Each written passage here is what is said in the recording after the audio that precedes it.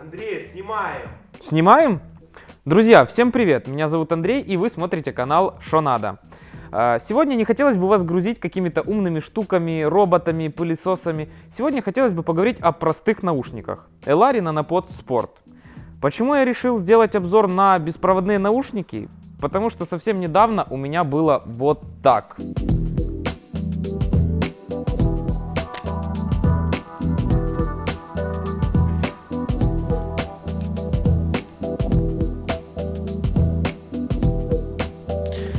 Elari Nanopod Sport это мои первые беспроводные наушники. Может, наверное, поэтому я их так и полюбил. А может, потому что они действительно крутые, качественные и удобные.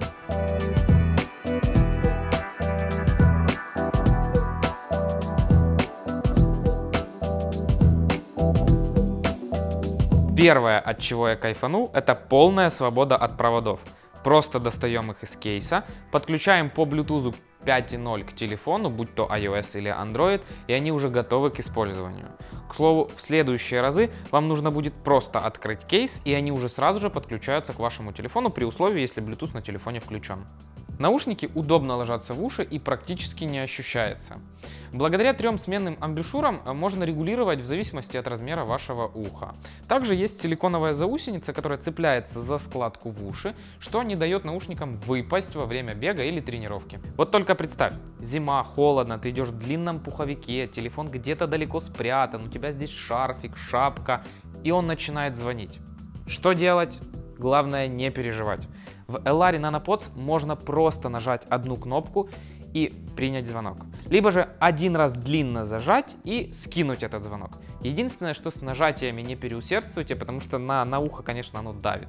Хранить наушники можно вот в таком кейсе. Они удобно достаются, также удобно складываются. Просто кидаете их в карман, и в случае, когда они вам нужны будут, достаете, они автоматически подключены к вашему телефону и можно уже использовать. Кроме того, кейс является зарядкой для тех самых наушников. Очень важно не забыть зарядить сам кейс перед выходом на улицу. Кстати, работают они порядка 3,5 часов от одной зарядки от кейса.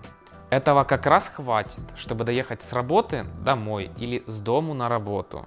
Когда вы утром встаете, э, становитесь на остановку, там очень много людей, забитые маршрутки, но наушники не дают вам унывать в этот снежный день, так как в них играет ваша любимая музыка, играет довольно четко и хорошо. Потом, после маршрутки, вы идете в метро. В метро много людей. Вот это вот все толкаются, все пытаются пихаться. И многих, даже у меня такое было, когда вот, знаете, кто-то проходит, вылетает наушники из уха, и что делать? А ничего не делать. В Elari NanoPods такого не бывает, потому что они беспроводные. Наушники надели, шапкой закрыли, все. Они в принципе заизолированы, нет никаких внешних контактов, и при этом вы все равно продолжаете наслаждаться своими любимыми треками на этих крутых наушниках. Кейс, кстати, имеет еще одну очень немаловажную функцию. Он защищает наушники от внешних факторов, какой-то грязи и пыли что в принципе продлит срок службы этих малюток еще дольше, и вам не нужно будет менять их часто. Вот приблизительно так будут звучать треки в твоих ушах. Громко, насыщенно, четко. Шумоизоляция, к слову, тоже отличная, поэтому тебе не придется делиться своими крутыми треками наружу. Все себе. Если ты ходишь в тренажерный зал или занимаешься спортом, то это будет как раз таки твой идеальный вариант.